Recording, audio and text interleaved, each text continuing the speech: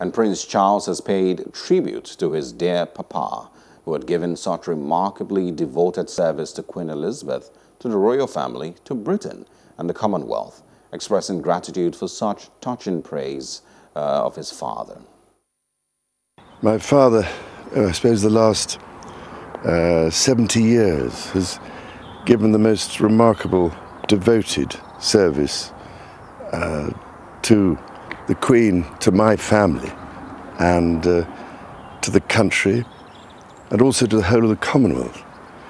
And as you can imagine, uh, my family and I miss my father enormously. He was a, a much loved uh, and appreciated figure. And uh, apart from anything else, I can imagine, and we're so deeply touched by uh, the number of other people here and elsewhere around the world in the Commonwealth who also, I think, share our loss and our sorrow. And uh, my, my dear papa was, uh, was a very special person who, I think, above all else, would have been amazed by the reaction and the touching things that have been said about him.